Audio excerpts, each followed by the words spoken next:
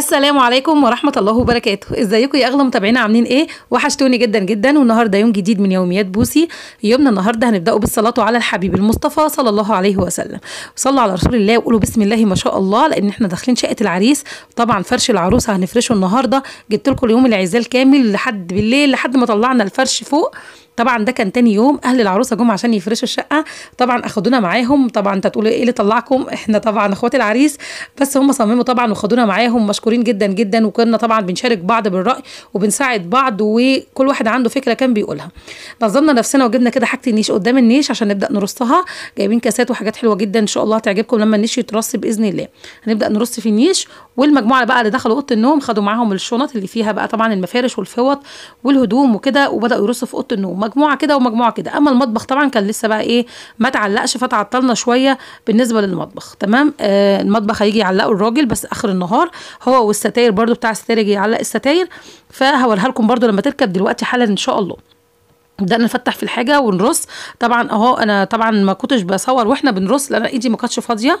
كنا طبعا واحدة بتناول واحدة بترص وكنا بنساعد بعض والحاجة اللي ما تعجبناش نشيلها تاني ونحطها تاني. ونجرب طبعا كده أكتر من تجربة علشان يطلع الشكل في الآخر كويس على قد ما قدرنا يعني. آه تمام. آه فاضل حبة حاجات أهو لسه طبعا هنوسع لها ونرص لها. كده النيش خلاص خلص والمطبخ اتعلق. اهو شايفين المطبخ كده اتعلق خلاص. بس طبعا عايز مفارش بقى لأن المفارش خلصت كلها في أوضة النوم جوه. كانت جايبة مفارش شكلها حلو جدا بس خلصت كلها في الدولاب. آه شايفين دي بتاعة التسالي شكلها حلو جدا وعجبني وقلت أوريها لكم. آه أدي الستاير كمان ركبت. آه الراجل بتاع الستاير جه ركب الستاير وركبت عجبتني شكلها حلو جدا. دي ستاره آه ستارة أوضة النوم. طبعا هم جايبينها علشان لون المفرش بتاع السرير هو نفس لون الستاير. هوريه لكم برده في آخر الفيديو اللي هو اللون الكشميري ده حلو جدا. بدأنا نرص في المطبخ بقى الحاجة اللي هتترص على الرخامة كده بقينا نرصها على الرخامة. واللي بيترص في ال واللي بترص في المطبخ بنرصه في المطبخ. هكمل معاكم الفيديو بس يلا نشوف الحاجة أول ما طلعت. وشافتنا وإحنا بنفرش عملت إيه. يلا نشوف كده. أم العريس حبيبتي.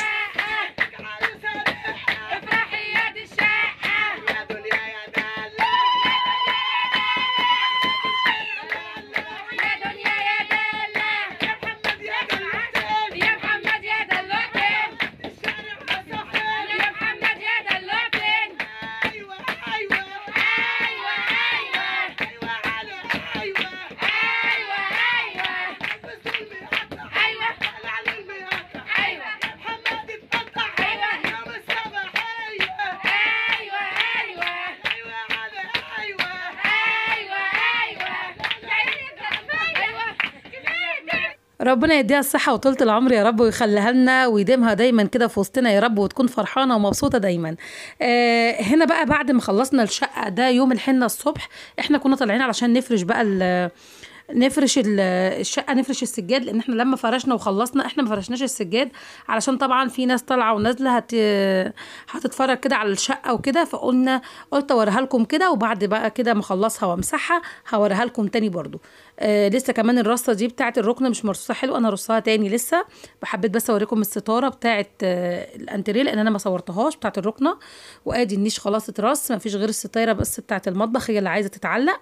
والنيش خلاص كده هو رصيناه رصه يعني على قد ما قدرنا رصه حلوة آه حاجات جميلة جدا تتهنى بيها يا رب.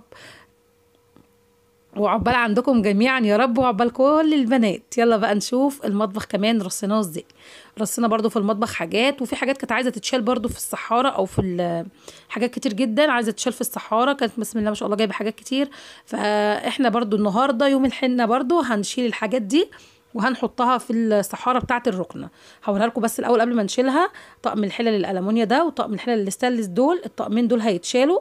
وطقم كمان الالومنيا اللي فوق اللي فوق الحتة اللي بقراها هوريها لكم برده طقمين آه تلات اطقم كده هيتشالوا. وأدي المطبقية رصينا فيها أطباق فوق وتحت وكوبايات وهنا طقم التوابل وال kitchen machine والخلاط. كل حاجة في الضرفة دي وفوق كده البلاستيكات اللي هتستعملها. للمطبخ تمام؟ وكمان رصينا في الجنب التاني ده إزاز كل دي إزاز وكوبايات تقديم يعني للمطبخ عشان ما تطلعش من النيش وكاسات آه كده المطبخ هنا من فوق اترص. ومن تحت بقى كمان تحت الحوض حطينا ال basket وهنا الإزاز البايركس والطواجن و آه الترمس بتاع الشاي وطبعا لسه ده بنشوف له مكان. الفرن الكهرباء لسه بنشوف له مكان والحلل دي زي ما قلت لكم هنشيلها بس اما نبدأ نشتغل كده هنشيلها في الصحارة. آه هنا بقى حاجات اللي هي الرفايع كده. الأدوات بتاعة المطبخ الصغيرة أو الرفايع واللي تحت ده في الصابون والكلور والحاجات اللي هي هتستخدمها لل... للغسيل يعني. لأن القطعة اللي فوق دي اللي إحنا حاطين فيها طقم الجرانيت والسيراميك دول دول كان أصلا القطعة اللي فوق الغسالة دي كنا عاملينها علشان المنظفات. فطبعا لما المطبخ كان صغير وضيق ما خدش كل حاجة فحطينا طقمين الحلل الجرانيت والسيراميك فوق الغسالة في الحتة اللي فوق الغسالة اللي بره اللي في الصالة. تمام كده؟ هتشوفوا دلوقتي ان هي فوق الغسالة إزاي. هوريها لكم دلوقتي. ده طقم الحلل برده ده طقم الحلل اللي هو الشاورما العادي ده هيتشال برده خالص هنشيله إن شاء الله دلوقتي. تمام هو والطقم ده والطقم ده هنشيلهم دلوقتي. لقيت طبعا الغطا ده جوه محطوط في وسط الحاجة وهو بتاع الطقم ده فرجعته مكانه.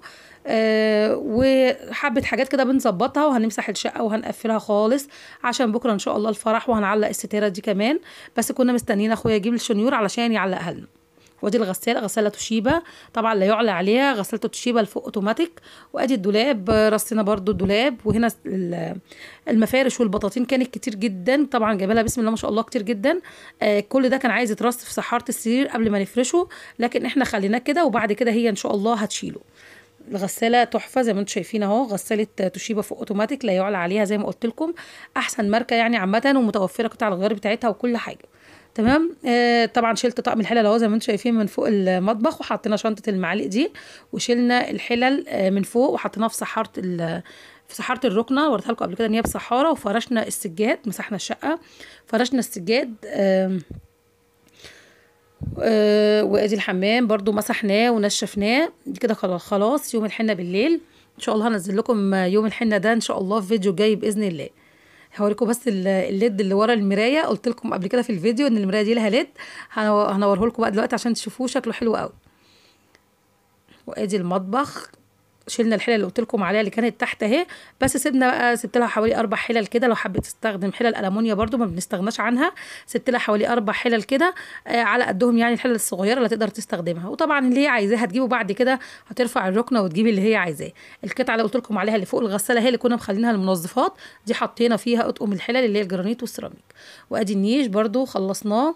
كان في كده حبة حاجات برضو نزلناها تحت في النيش من تحت تاني. آه كانت برضو محطوطة وكنا هنشيلها في الصحارة فرجعنا تاني حطينا لها حطيناها لها في النيش من تحت. طبعا مامتها هي قالت لنا طبعا هم كانوا هيجوا بس الوقت عندهم ضيق لأن هم عاملين ليلة حنة جميلة في منتهى الجمال برضو عندهم. فهم ما فضيوش إن هم يجوا يفرشوا لها السجاد يوم الحنة. فإحنا طلعنا بالليل وفرشناه ودي أوضة النوم كمان فرشنا السجاد بتاعها. وظبطنا كده المفرش لأنه كان متبهدل شوية. آه طبعا إن إحنا طلعنا آه حاجة العريس ورصيناها هدومه برضو فكانت الدنيا متنعكشة شوية فظبطنا تاني السرير ودي رصة الدولاب. أنا اللي رصاها بقى قولوا لي رأيكم في رصة الدولاب إيه؟ دي الملايات ولطقم السرير والفوط. حاجات شيك جدا وفي منتهى الجمال. ربنا يا رب كده يجعلها قدم السعادة عليهم يا رب. ادعوا لهم كده إن شاء الله وربنا يديهم الذرية الصالحة.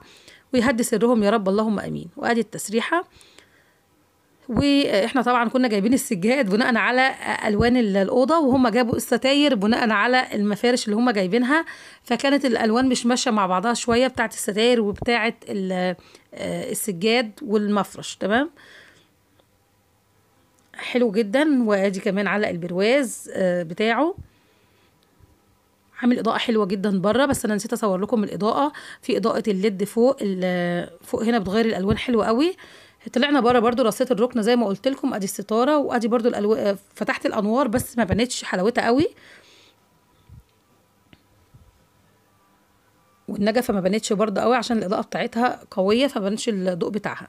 آه خلصنا كده ما فيش بقى إلا المخدة دي هروح أشيلها. دي مخدة العريس اللي كان بينام عليها مخدة العزوبية يعني عامة. كان بينام عليها لحد يوم الفرح الصبح. خدت بقى المخدة دي معايا وهنزلها وأنا نازلة لأن خلاص بقى كده خلصنا الشقة. ويا رب يكون فيديو النهارده عجبكم. لو عجبكم بقى حطوا like للفيديو و share. ما تنسونوش بالاشتراك في القناة. وفعلوا زر وفعلوا زر الجرس عشان يوصل لكم كل جديد بننزله بأمر الله. وده كده حتة من الفيديو اللي جاي. فيديو الحنة هنزله لكم إن شاء الله الفيديو اللي جاي. انتظروا بقى الفيديو الجاي. فيديو حلو جدا ومفرح جدا جدا. أحبكم في الله. والسلام عليكم ورحمة الله وبركاته.